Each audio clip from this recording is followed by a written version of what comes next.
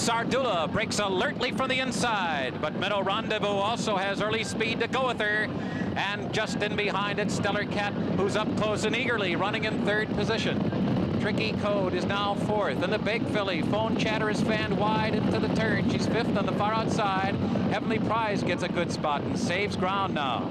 Then farther back, the French filly, Genie. Trailing the field is Rhapsodic as her stablemate leads the field. Sardula through an opening quarter, relatively easy, 23 and 2 fifths seconds. Sardula and Stellar Cat now prompting her on the outside second. Heavenly Prize has had a good trip in the early going. Meadow Rendezvous fourth on the outside.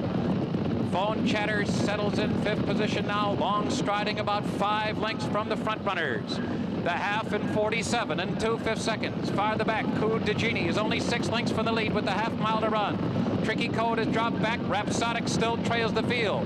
Three furlongs from the line now, and the leader is still Sardula. Sardula is strong on the lead. Stellar Cat still trying to get to her. Heavenly Prize and Phone Chatters in gear on the outside, and here she comes as they move toward the top of the stretch.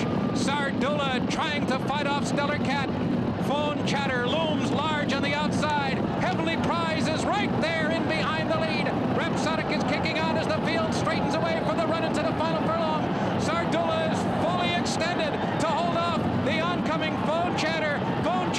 Nardula